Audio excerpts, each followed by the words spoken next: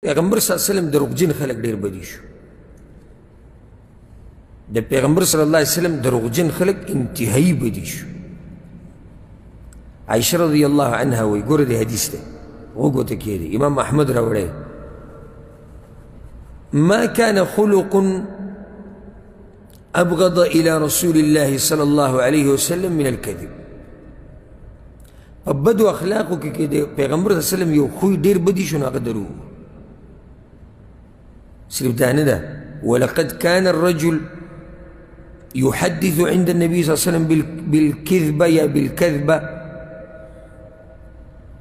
چې کله به یو سړي د پیغمبر اسلم په مجلس کې دروغ وي هغه به پوه شو پیغمبر اسلم چې دروغ وي فما یزال فی نفسه دا خبره به په زړه کې پرته وه یو روایت کې راځي چې لم یزل معرضا عنه پیغمبر صلی الله علیه وسلم بیا د سره طبیعت نه لګېدو دا چې دروغ به وي د کوم وخت پورې حتی یعلم انه قد احدث منها توبه چې کله به ورته پته ولګېده چې هغه د هغه دروغو نه توبه ویستې ده نو بیا به ورسره طبیعت برابر شو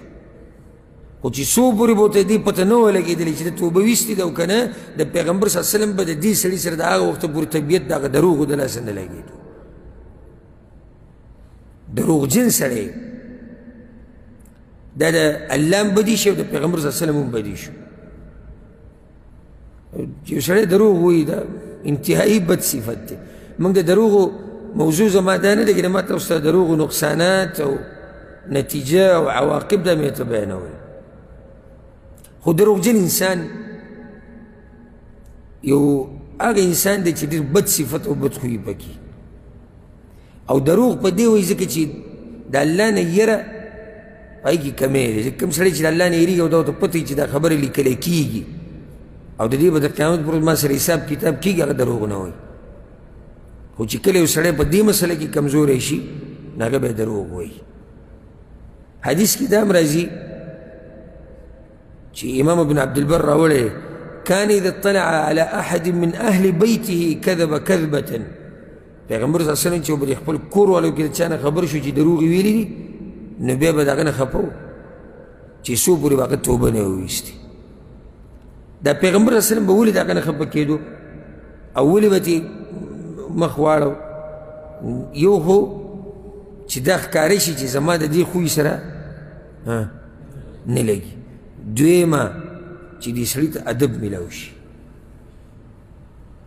چې کله هغه ته پته ولګي چې بی د پیغمبر صلی الله علیه وسلم زمان سره دی د لاسه نه لګي دا هغه ته یو ادب میلاو شي بیا به دروغ نه وایي چې دا خوی د پیغمبر بدی شي نو بیا کوم خوی چې د پیغمبر بدی شي هغه زمونږ په کار دی چې مونږ یې خپل ځان نه لري نو د پیغمبر صلی الله علیه وسلم څوک بدی شو دروغجن او نن سبا زمانه کې دروغجن نشته الحمدلله ها دومره دي چې د دې بعضو خو سبحان الله د دې دا دروغې عادت جوړ شوی دی کله کله ګورې دا ګناه سړی دومره ډېره وکړي چې بیا دغه ګناه نه عادت جوړ شي هغې که غواړي او که نه غواړي خو هغه ګناه چې ګناه چې کېږي دا چې کله سړی د الله په نافرمانیانو کې ډېر ورننه اوسي ده ته بیا ګناه ګناه نه ښکاري هېڅ دا زړه دنه نه رپېږي چې ما د الله نافرماني وکړه لکه اوس یو سړی د موبایل راواغېستو ګوري په دې کې سندرې په دې کې زنانو تصویران ډرامې سندرې هر څه چې فلمونه فحش فلمونه ولیاذ بالله د سړی د زړه دنه نه رپېږي چې په عرش باندې یو رب دغه ما ته ګوري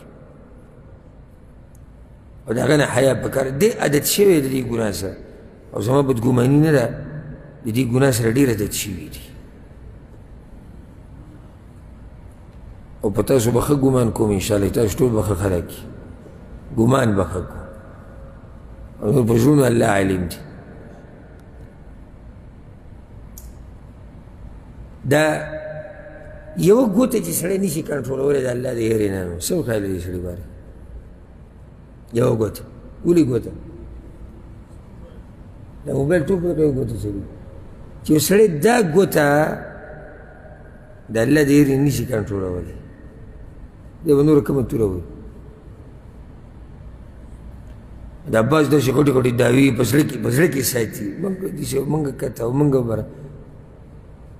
زه چې زما په مخ کې ووي دا سړی او ما ته حقیقت معلوم وي زه سم جواب ورکوم یې مړه زه دې پېژنم یا موږ ته پته ده ستا د کارونو دا دومره غټې دعوې ته اخر کې د څه شي چې ته په دې یوه ګوته باندې کنټرول نه لري د الله د یېرې د لاسه چې سره ته زړه وي بس ترېږي هغه پکې ګوري هغه پکې وایي د سره دا سوچ نه چې په عرش باندې یو رب دی هغه ما ګوري حیا ولم نه ورسي د استاد په مخ کې به ځان د امامانو د تقوادارو امام امام به ځان نه جوړ کړي سبحان الله الحمد لا اله الا الله جړغونه به کیزان او داس دې ته ضرورت نشتی حساب د سره دې نه کوي حساب هغه عرش والا کوي تا سره د مور پلار په مخ کې به داسې د پرهېزګارۍ غر به د ځان نه جوړ کړي او د ښځې او د بچو په مخ کې ته څه ویلي چې دوی ورځ سره قیامت پورې حساب کتاب کوي یوم تبلی السرائر الله وي د قیامت پر ورځ به راښکاره کوم هغه خبرې چې په سینو کې پرتې دي حساب د سره هغه کوي ریکارډ دی هغه راوباسي د قیامت په ورځ استاذ پلار مور مشر کشر دا خو تا سره ستا په شان انسانان دي هغه غریبانان خو خبر نه دي هغه به ستا ظاهر ته ګوري نو باطن نه هغوی څه خبر دي خبر مې دا کوله چې یو سړی د دې ګناهونو سره عادت شي د دې فیسبوک او دا انټرنیټ کې دا ګن بلاکت د تصویران د جنکو سره رابطې دا زړه یې وله تور کړی نو ده ته دا ګناه ګناه نه ښکاري سبحان الله لکه اوس یو سړی دی موبایل یې راغستی دی او څه پکې ګوري مثال کې یو پیله مې لګولی هسې مثال او ته ورته ووایې چې پلاني ماله قرض راکړه پنځه سوه روپۍ زه به درې بیا شپږ سوه درکوم داسې به تا ته وګوره زه د سودخور ښکارم د سود خوري ما د سود کوم حرام خورم زه دا ښکلې خبره ده دې نه غوسه کېدی د هر څه دې چې کېږي داسې شی دی دا ورته الله نافرماني ده حرام نه دي خو دې د دې سره دومره عادت شوی دی چې دا ورته حرام نه ښکاري دا ګناهونه چې کله ډېر شي که نه نو بیا د سړي د زړه نه دا یره وځي چې دا ګناه ده او دا سوچ یې ختم شي نو چې کوم سړی دروغ ډیر وایي دروغ ورته ګناه نه ښکاري بیا او بې اختیاره دروغ وایي بیا او د داسې مرض نه دی الله خلک ساتي چې سړی بې اختیاره دروغ وایي اراده مې نه وه خو دروغ مې ووایي نو پوه شي چې دا انټرنیشنل دروغجن دی ځکه چې اراده نه وه دروغ مې ووایي ها